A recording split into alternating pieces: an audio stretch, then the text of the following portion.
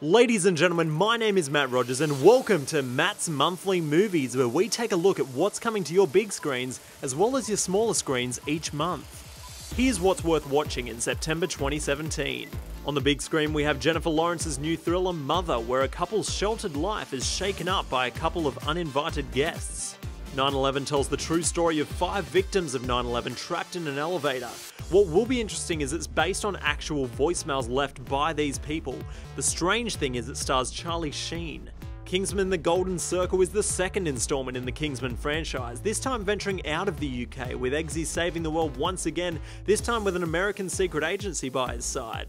Next up is an outlandish movie named The Show. After a reality dating show ends in violence, a network hungry for ratings promises a new show with fresh kills every week.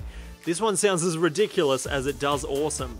American Made is Tom Cruise's new action film, which is a mashup of Mission Impossible and Narcos. And in animation, we have a blast from the past for any 90s kid with the new Captain Underpants movie, where we'll hopefully see the cotton clad hero once again become a mainstream sensation.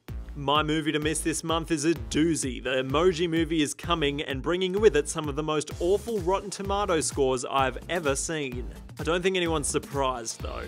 But my movie of the month is the 2017 remake of Stephen King's It.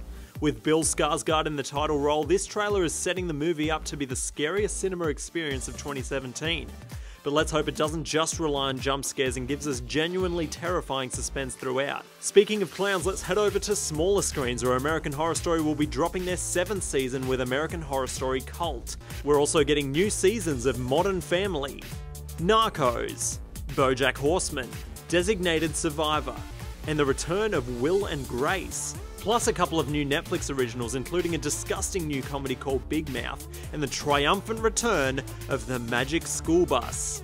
That's it for September, ladies and gentlemen, but let me know in the comments what are you watching this month? Thanks so much for watching, and I'll catch you the same time next month.